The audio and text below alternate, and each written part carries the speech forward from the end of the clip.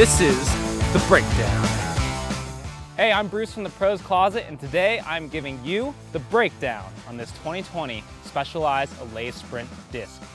Now, if you don't know, cyclists around the world, they love, love, love the Allez Sprint. Crit racers, road racers, Strava KOM hunters, beginners, experts, anyone who cares about performance and value is gonna love this bike. In fact, I posted this very bike on my personal Instagram and that photo received over three times more likes than my newborn baby.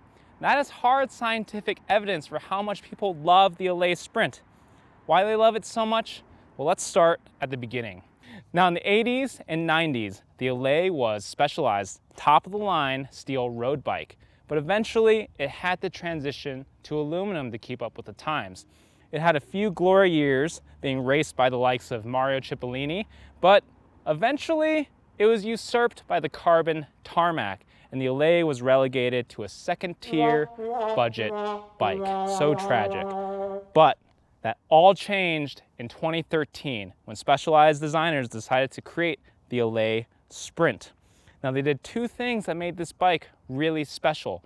The first is aero tubing. Now these hydroformed aluminum tubes are truncated airfoils and they make this bike more slippery than the first generation Venge. The second really cool thing that Specialized did is this proprietary welding technique. And I'm not even gonna attempt to pronounce the first part of it, but we'll just call it smart weld. And smart weld basically moves the positions of the welds away from the joint.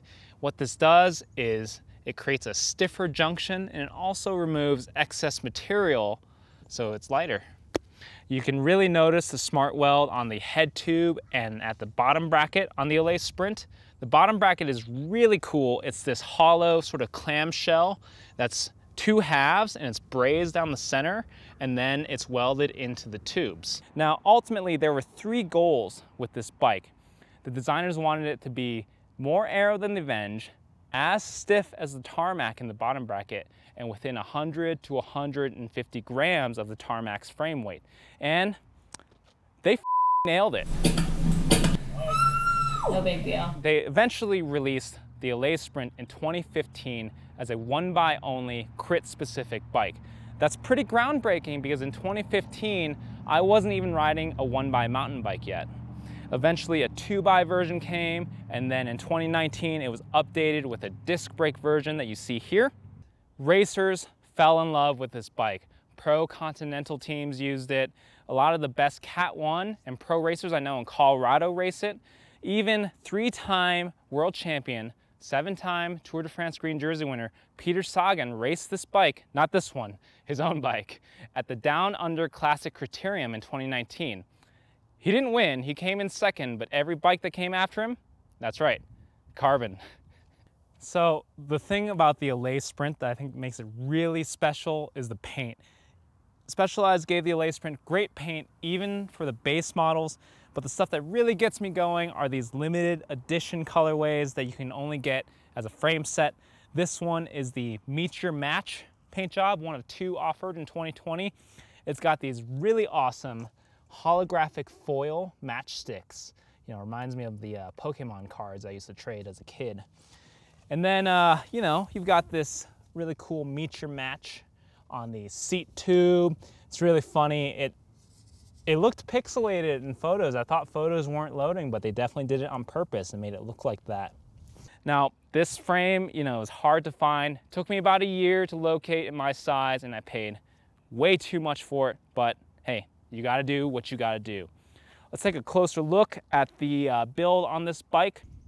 For a drivetrain, this bike is built up with a SRAM Red 22 11 speed mechanical group. It's not the latest and greatest AXS wireless group, but I actually think it really suits a bike like this really well. It's got this awesome one piece XG1190 cassette, and of course, gold chain. You have to have a gold chain. For the cranks, we have the Easton EC90 SL cranks. These are some of the lightest carbon cranks on the market. And they also have the Easton Cinch power meter spindle installed, so you always know how many watts you're putting out. One thing you might not notice unless you look really closely is the bottom bracket. Now, The Allez Sprint uses the OSBB or oversized bottom bracket standard that is essentially BB30 and a lot of riders, including me, they aren't big fans of BB30 because it has a tendency to creak and it can be kind of a pain to service. So what this has is a Cane Creek Hellbender 70 thread together bottom bracket. These sorts of thread together adapter bottom brackets are super popular. Wheels Manufacturing also makes a bunch of these. They make, you know, creaking a non-issue and they make servicing the bottom bracket super easy in the future. The wheels are ENVE Foundation 65 wheels. They're sort of a, you know, budget for ENVE, good mid-range wheel, very aerodynamic. 65 millimeters deep, which is super deep, maybe too deep for daily riding. You definitely feel them in crosswinds, but they look so good. They're set up tubeless with specialized S-Works turbo, 28 millimeter tires. I've tested this bike with 32 millimeter tires and they cleared fine. The rim brake versions have much less clearance. I've only been able to run 25 mil tires on those, so keep that in mind if you're a wide tire fan. And listen to this hub. It's got an i9 hub. Oh yeah. You do not need a bell with this bike. Everyone knows you're coming. Up front, we have the Easton EC70 Aero handlebars. They are 40 centimeters wide. Of course, the tops are untaped. I think an aero bike like this, it really deserves aero handlebars, even though they aren't quite as stiff as round handlebars, that's okay. Um, the stem is an Easton EC90 stem. It's 120 millimeters long, and then it's got the Wahoo Element bolt head unit. The seat post is actually super interesting. Now this isn't the stock seat post. In fact, this is the stock seat post. This seat post was made by a nice gentleman in China that I found on eBay. And he makes carbon seat posts for a bunch of bikes. Why did I swap it out? Well, it's because the Allez Sprint actually uses the same seat posts as the old Venge. And you might know they don't make the Venge anymore.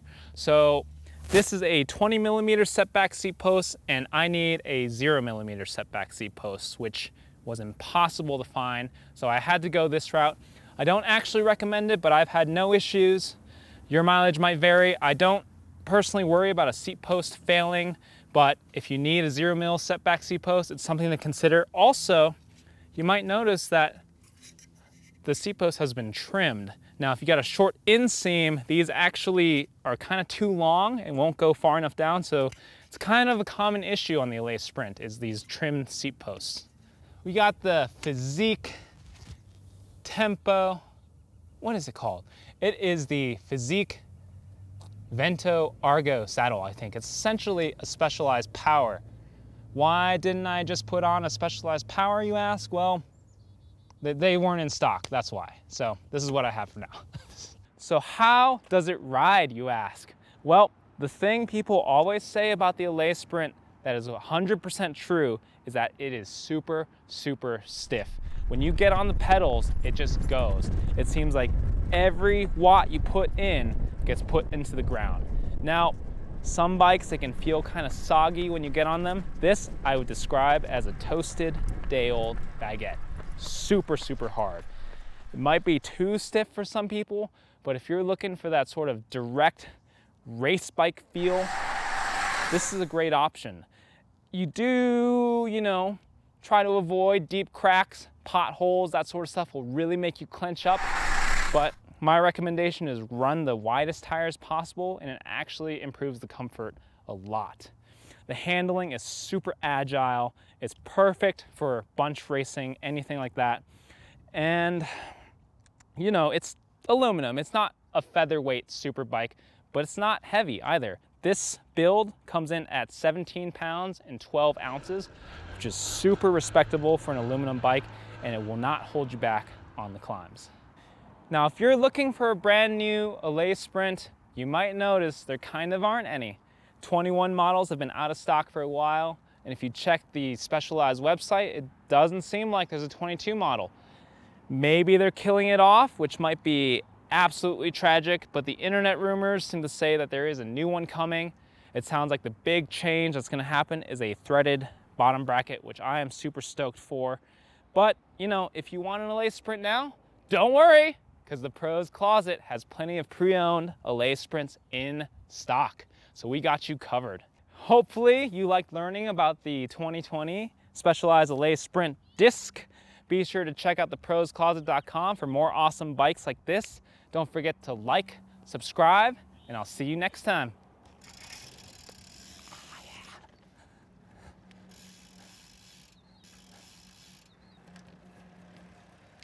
I should be wearing a helmet.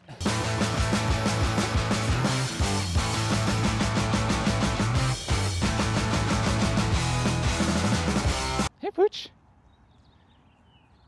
Oh, he's so fuzzy.